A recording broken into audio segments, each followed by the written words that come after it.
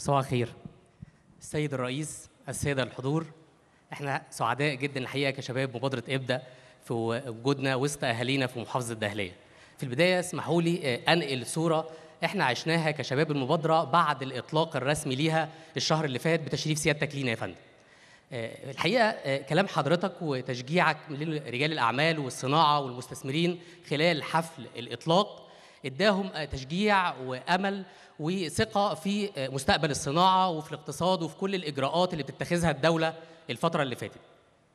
ده يا فندم ظهر عندنا من خلال الطلبات اللي استقبلها الموقع الرسمي للمبادرة اللي تعدى أكتر من 1300 طلب بيخصوا استفسارات للانضمام للمبادرة وكمان بعض طلب للشراكات الجديدة بالإضافة إلى بعض آه، طلبات لدعم المصانع القائمة آه، طلبات دعم المصانع القائمة كانت بتشمل أولها إجراءات التراخيص اللي بتقابلهم في بعض المحافظات وبعضها كان تخصيص أراضي جديدة للتوسعات القائمة وبعضها يخص التمويل والبعض الآخر يخص توصيل المرافق للأراضي الصناعية.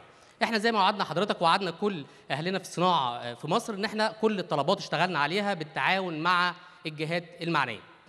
بالنسبة لمحافظة الدقهلية إحنا دايما بنقول محافظة الدقهلية هي من أكبر المحافظات اللي بتشارك في الاقتصاد آه، القومي. بنسبة عدد منشآت 9% تقريبا من عدد المنشآت الإجمالية على مستوى الجمهورية.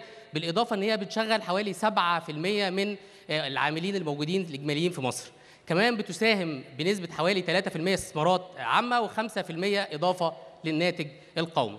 ال- الأنشطة الصناعية الموجودة في محافظة الدهلية بتبدأ من أول الصناعات الغذائية المرتبطة بالزراعة بالإضافة إلى الأساس والمعادن والصناعات الكيماوية البلاستيك والأسمدة والأعلاف بالإضافة إلى إصلاح السيارات ورش إصلاح السيارات والمقطورات.